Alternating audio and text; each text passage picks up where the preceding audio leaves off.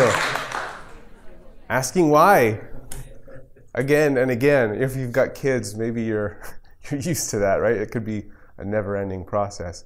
But what we're going to talk about today is this actual specific tool called the five whys. And how can it be helpful? Well, it's actually developed in this uh, process that Toyota started back in the 1930s, the Toyota production system. And so they found it to be a very useful tool in uh, troubleshooting problems on the assembly line. If there was an issue that came up, you know, how could they fix that problem? So uh, hopefully it wouldn't happen again, right? And then just you know continue their their operation smoothly. And so uh, for them, it would look something like this. You know, the first a problem would happen. The first question would be, you know, why in this case, why did the robot stop?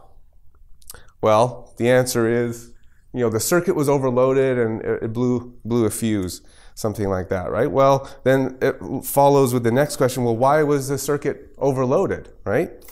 And so the answer to that is, well, there was insufficient lubrication on the bearings.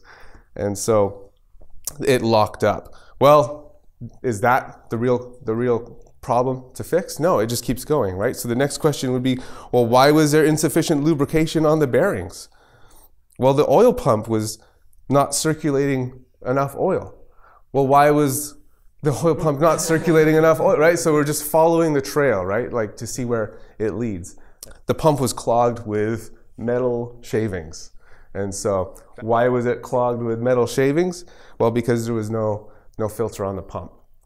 And so, you know, in that case, that's an example of, you know, five whys that they would ask in a typical, you know, situation on the production line today, right?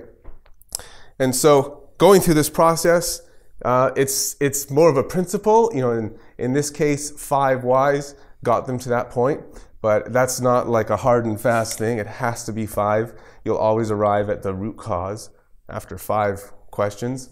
Could be more, could be less, but uh, it's not really about not really about assigning blame, right? It's not like, well, who didn't put the the you know the filter on the pump? You know, they're the person who's at fault here, right? Uh, it's it's not necessarily the, the, case where it's it's coming down to a person who was the failure. Um, in that case, you could ask another question, right? Well, well, why did this person not? You know, why were they not able to do what they should have been able to do? So we can take it beyond just arriving at a person who is a failure. So uh, that's really the end goal is to find the root cause of the problem. And so in that case, it's not going to be a person necessarily. It's, it's maybe a, a, reason or a cause why that person wasn't able to do their job. And then that's something that can be addressed as part of the process, as part of, of you know, overcoming that, that problem. And so another thing that uh, this process of asking these why questions repeatedly uh, is that uh, not only does it help you get to the root cause of something, but interestingly, they make the point that it's not really a solution you're after, a solution could tend to just deal with a symptom that you've kind of found along the way. But uh, they use this term, it's a countermeasure, is what we're really looking for. Something that will prevent that problem from happening again. And in that way, this process leads to something that can be very robust and uh, really improve things over time so that we don't keep you know, encountering these, these roadblocks or, or these problems. So it's a simple little thing, you know, just asking these questions, you know, following the trail wherever it leads, and uh, that's that's basically it. That's the principle behind it that uh, we can apply not just on an assembly line, you know, something mechanical like that with that example, but even in, in a design process, you know, where if something breaks down, the communication isn't happening. Well, why is that not happening? and, and you know, just following that trail. So do you want to try it? Got a little, yeah. little example here. Okay. Why did the Titanic sink? What happened? Why did the Titanic sink? It hit an iceberg? Oh, it hit an iceberg. Okay. Very good.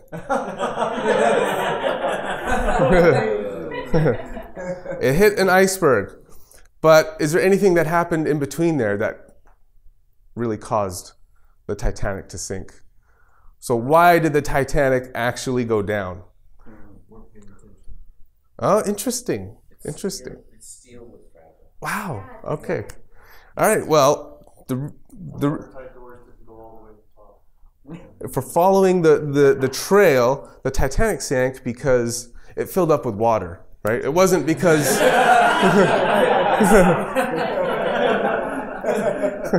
wasn't because there was too much cargo on board or you know anything like that, right? It took on water. well, why did it take on water? You know? ah, there we go. Okay, so you know, you can see how this, you know, we're really just trying to find out the, you know, the, the real cause from one problem to the next, right? Okay, so it took on water because it had a hole, and it received this hole because it hit an iceberg, as you said. So right, so it's like you can see how you can make this as simple a thing, or you can really like get down to the the the, the nitty gritty steps along the way. Well, why did it hit an iceberg? Any thoughts? Someone wasn't paying attention. All right.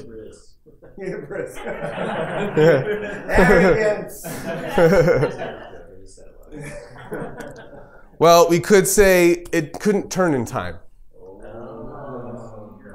So, so why couldn't it turn in time? There we go. There's another why question. Someone already said it already. This is where it gets interesting the, the lookouts didn't see it in time. Maybe because of the weather or whatever, right? But uh, now, if depending on who you ask, you might get a different answer. Someone else might say, You're going too fast. And so there's an interesting relationship there, right? Like, and, and now we're starting to see what's the countermeasure. So if the lookouts can't see far enough to, to know if there's something to avoid, because they're going too fast, there needs to be communication there so that, you know, they slow down or, you know, there's communication to prevent that from happening, right? And so depending on who you ask, you could get a different answer. And then already mentioned, there was another cause, uh, wasn't there? The design, right? Ultimately, how the ship was constructed, the strength of the, the hull, the steel plating, the rivets, you know, there's there's design considerations there that also contributed to the fact that, you know, maybe it could have brushed that iceberg and withstood that impact if the construction and, you know, some of those design decisions had been more robust. So the iceberg alone wasn't you know the true cause of why it sank right and so it's interesting to see how uh, a lot of times going through this five why process isn't always just going to be a linear thing that leads, you know, from the problem to, okay, here's the root cause. It could start to branch out. And so, in fact, they'll actually use a fishbone diagram, they call it, because you'll have these these branches that come out. And in this case, here was I found an example of bad coffee. Why did you get bad coffee? Well, you know, there's four main causes that could have all come into play, right? People who are involved, the procedures, material, or you know, ingredients or whatever, or equipment. You know, all had could have had contributing causes to why you ended up with you know, a bad cup of coffee, right? So. Uh, this it could get quite complicated, but the key to going through this process is you need to have the people who know about these things there going through this process so that they can actually say what happened. And so in the case with the Titanic, you know, different people in the room might have come to different conclusions, but then you can start to build the full picture and maybe you'll need several countermeasures to prevent that kind of thing from happening again. And so this process isn't something that's speculative. Uh, you know, well, this might have been why you know, kind of just thinking down those lines. But this is, you know, this hap- this problem happened. What can we do to address it and correct it? So it's we're dealing with something that really took place and really finding out the reasons why. And so and that will help it become this, you know, productive little tool that can that can uh, make things better, you know, as as things move along.